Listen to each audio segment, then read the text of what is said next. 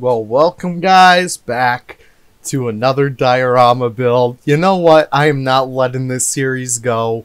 We are officially starting a little bit of a diorama museum. Now, of course, you guys see me putting it together right here. I already have two, as of recording this, already in this little quote-unquote museum.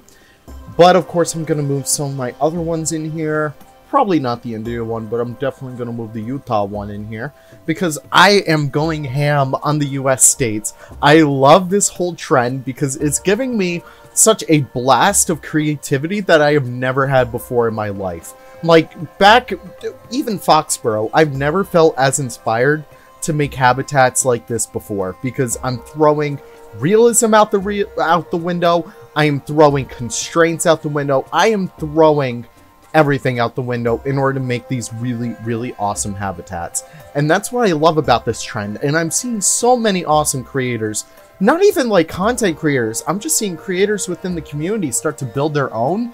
I'm just trying to like draw attention to some right now because it's so amazing to see people start to do these. I think, what was his name? Uh, Cockchafer? And please, don't censor me on that YouTube. It's a kind of bug. Listen, trust me. It's a kind of bug. But no, he's doing some really awesome train dioramas, and he has them going through like this little predetermined track within the walls. I think that is absolutely insane to see, and I love seeing everyone's take on these because each one is so different. We're seeing some from Basic Builder, I've seen some from Drew, I'm, I mean, obviously we've all seen the ones from Rudi, and I don't know, just looking at these ones and looking at the ones from Parkitect and stuff like that, that's where this whole trend originally started. It's just really awesome to see that. And I don't know, I'm just a really big fan of that. But I guess we should probably talk about what I'm building in here first. So, of course, I wanted to do an Alaska build, as you can probably tell from like the thumbnail and the title and the pun and the description and all that stuff. But no, I really wanted to do an Alaska build, and I was curious about how I could do that. So, I don't know, I wanted to do a little bit of a river. I didn't really want to do like a glacier or anything like that because I feel like that'd be way too much to pack in to a small little build. I just wanted to have it be a little bit subdued. I have some more ideas for stuff that I can do with ice and snow later on, but I'll get there when I get there. For the time being, I'm just trying to get this river to look good. And yeah, I eventually break it up into two different segments. I am a very, like, I'm just very happy with how this all turned out but yeah, so here I am working on a little bit of like, kind of like the containment system, I guess. Just making sure that the water can't flow out. I'm a really big fan of this in real dioramas, just seeing like people able to cut the water off at a specific point. That's what I love. That's the stuff I dig right there. I'm a really big fan of it. But, I don't know, just stuff like that just makes me so happy. It makes my... It gives that blast of serotonin in my head. And here I am working on like a little bit more of the rock walls and stuff like that. I kind of start off with like a little bit of a basic shape for them. And then I work around some more intricate rock work later on. I feel like that is the best way to accomplish stuff like that when you're working with like intricate rock walls and stuff like that. I don't know. I'm just really digging it. But yeah, just working on this all. I use this interesting blend of taiga and what is that? It's the um, Taiga and ah, gosh, I'm forgetting the name of it. But the other kind of rock, and I do end up using some temperate rocks in here as well, just to give it a good little bit of a palette. I love mixing and matching rocks. It's just such, I don't know, I just really love it, and I still do use some of the faux rocks for like pebbles and stuff like that. Taiga and Tundra, that's it. That is the combination of rocks that I use. But yeah, I'm just making sure that I get all this looking nice. I love rock work, I gotta say. It's so fun. I love making sure it all looks nice. And I especially love how well it turns out in this build in particular. Just because, I know, I just really, really want to get this, like, falls going. So we should probably talk about the animals before they go in. So I want to include, like, some Alaskan wildlife. I want to hold some animals out because I do have some future builds planned for them. So one in particular that I feel like a lot of people are going to miss will be the moose. Now, specifically the eastern moose, which is, you know, it's the one that is made in the game. It's the mod. There's no western moose or anything like that. I want to include the moose in a further build though, so that's why I opted him out of this one. and you'll actually see me putting a Beluga in here, but it just didn't feel right. But no, the ones that are in the build are the American Wolverine, released by Jen, absolutely amazing mod. We also have the Grizzly Bear, not a mod. Um, I just wanted to get a Grizzly in there. I guess I could have done Black Bear, but you know, we don't need to have mods every here every time in here. I know I just released the India speed build, the India diorama, and people were like, "Leaf, are you are you okay? You didn't include any mods in this one." I'm like, you know? Sometimes we don't need mods. Sometimes we don't need them. You know. And sometimes I kind of wish Frontier would notice me. but that's pretty much it. But yeah, just working on all the rock work in here. And what else did I have? Oh yeah, the sockeye salmon. So of course I had to have the salmons in here, the horny salmons as people like to call them, because they are made with like their breeding skin. So if you guys don't know, the sockeye salmon actually has a unique skin when it like needs to breed and stuff like that in real life and it turns this beautiful bright red. And I don't know, I just felt like that would be the most iconic way for it to be displayed as a mod in the game, because that's how you often think of them. They're often depicted like that. I don't know. I just feel like that'd be an awesome, like, little thing to have, especially with them going up the river in this.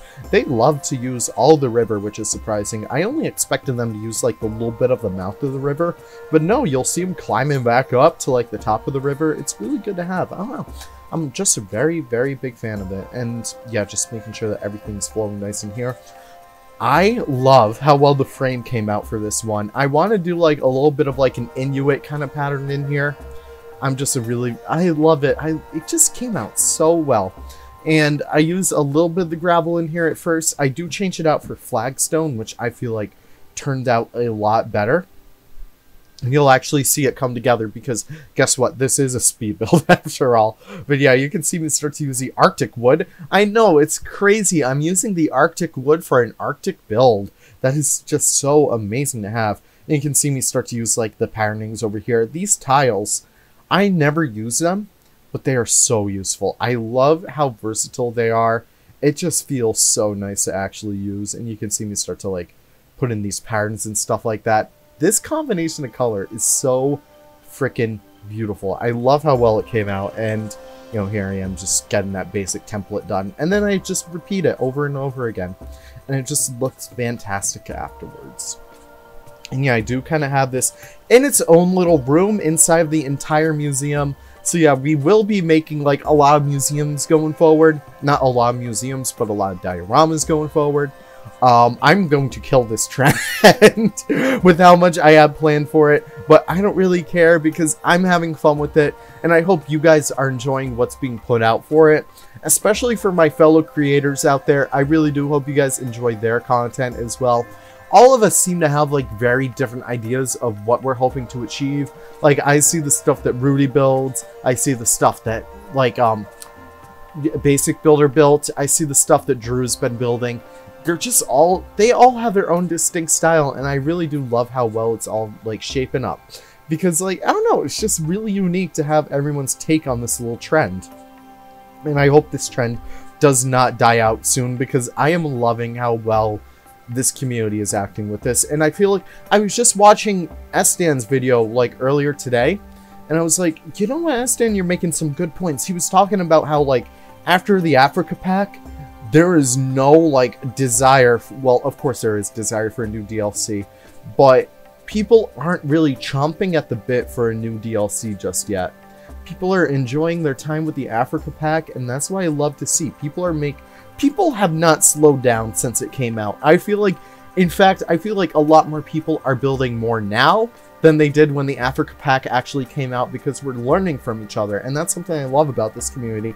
We learn from each other about how to use pieces. We learn from each other about how to like make different styles. And that's what I love about like being a part of a lot of these different communities, especially like Bro Nation. They always know how to use pieces in such inventive ways. That's why I love like the unicorn community because I don't know, they just have this fresh take that you don't really see from like the Bro Nation server. I love seeing like the modding Discord and like the Planet Zoo Discord and Savannah's Discord and all the different styles of builds and all of them. I love seeing like um this I'm just advertising everyone's Discord. Screw it. Let's actually talk about Dan XG's. Uh Dan FXG. Sorry, Dan. But no, he has a unique style on his builds as well as his followers as well. It's just really insane to see like all these different modems of like inspiration start to take form. And I don't know, I just, I love seeing you guys get inspired by my builds as well, because like, you know, I think my builds are pretty alright, but seeing what you guys are able to pull from mine, well, it's just, it's just really, really, I don't know, it just warms my heart. I don't know how else to say it.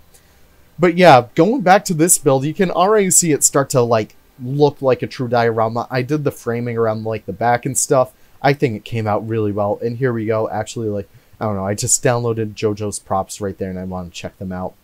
But yeah, I'm just testing around with like some different foliage, different like scenery props and stuff like that. Just making sure everything lines up pretty nice. Just making sure I have like good scenery. It's sort of like scenery theme, I guess you could say. I kind of have like a little bit of a campsite and stuff like that. I have like a little bit of a hiking trail, just like a bunch of small things. Here I am with the gravel that Nick had in the Africa beta. By the way, definitely go check out the Safari Pack beta. Really awesome pieces in there. Definitely do go check them out. But yeah, just making sure that this habitat is looking swanky as well. Just hammering out this area because I kind of gave it a little bit less loving uh, here I am using those nice, beautiful faux rocks. I wish we had more of these kinds, just because, I don't know, I feel like we need more variety with those, like, kind of pebbly rocks. And I actually put them, like, all over the habitat, too, like, all over the rivers and stuff like that. Because that's what I love about, like, going up north to, like, New Hampshire, Maine, and going to, like, the Saco River. I'm not sure if you guys know about the Saco River, but it's basically one of my second homes. But, um, no, they have these beautiful large pebble rocks in there, and it's just so beautiful to see. And I don't know, it's just like that kind of river that I absolutely love, and I can't wait to actually, you know, get to that point in the build where I start to build off of that kind of style. So, yeah, just doing all the foliage, putting in these cattails and stuff like that. We're about halfway through the build, and we will end it on some beautiful, beautiful little scenery shots of like all the animals in here. I'm so excited for you guys to see them all. There is a little bit of a problem with them though, so since this diorama is a little bit raised up, and I wasn't able to hide a trade center within the diorama itself, which I usually recommend, um, I had to build up a little bit behind the diorama, and I may fix that up at some point. I may have like a museum touch-up episode where I just go through all the dioramas and kind of make everything look pretty. In fact, I kind of didn't even make like, I kind of have the entire room be the exhibit. And you can start to see me start to, I don't know, just sort of sort out the animals I wanted. Here I go, just throwing stuff in there. I wanted to get like a bunch of salmon. And notice how I only pick out one sex of the animals that don't really have sexual dimorphism. I don't want them to breed, especially the fish, because when they breed, they are a lot bigger than the adults. And that just wouldn't look right. I'm sorry, guys. That just wouldn't look good. But yeah, you can see me do this first ramp. I end up doing the second one like in the back and stuff like that, but just making sure everything is fitting in there. All the animals seem to not want to go into the water for some reason. Excuse me. And yeah, it's, it's just a mess trying to get everything in here. Also, it was raining. It was like, I don't know, just very bad vibes all around.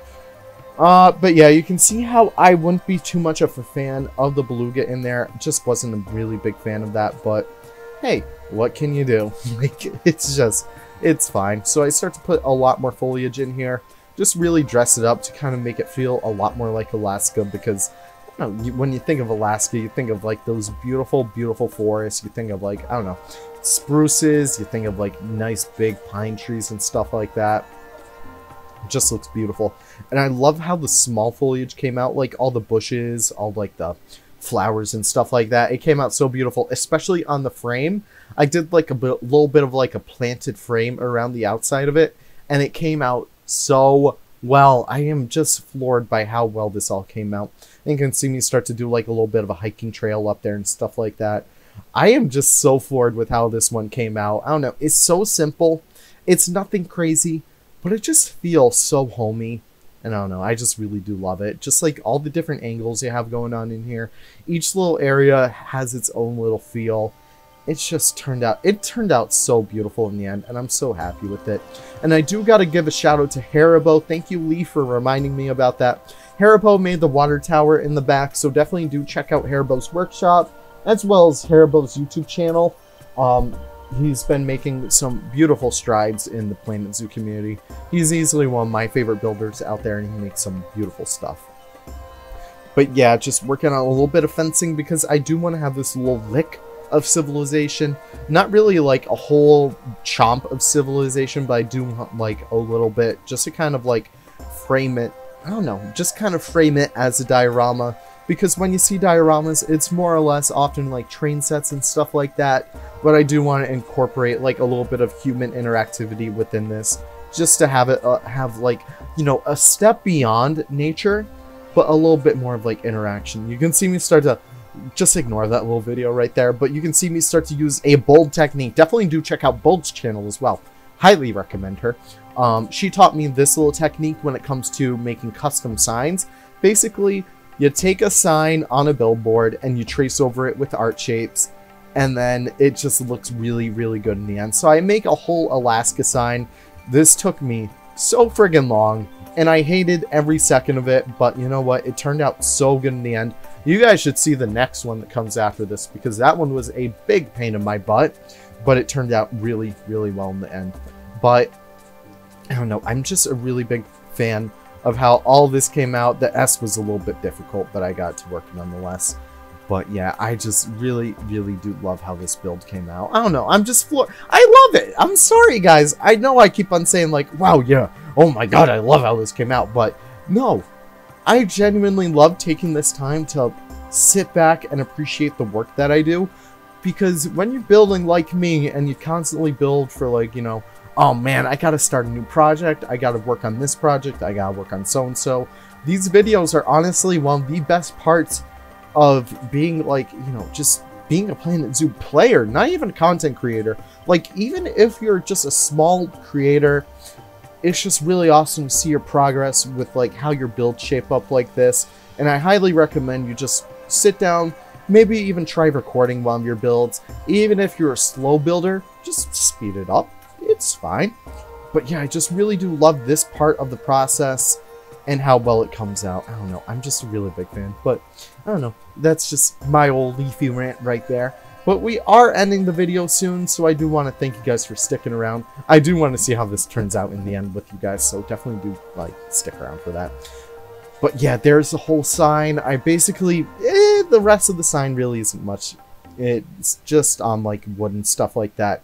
But no, I just really do love how well it came out. It just seems so rustic.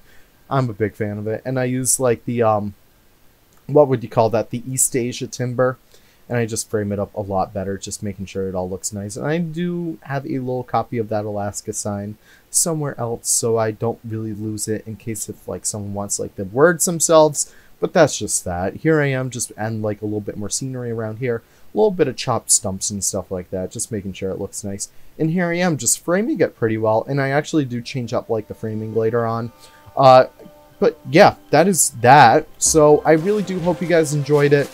Uh, definitely drop a like if you did enjoy it. Drop a comment. Let me know your favorite part of this. Let me know like your favorite little section of this area. Mine is definitely like the water section area like towards the right. I don't know, it just seems really cool and you can see the Wolverine right there. And you can also see the sockeye salmon by Nick right there.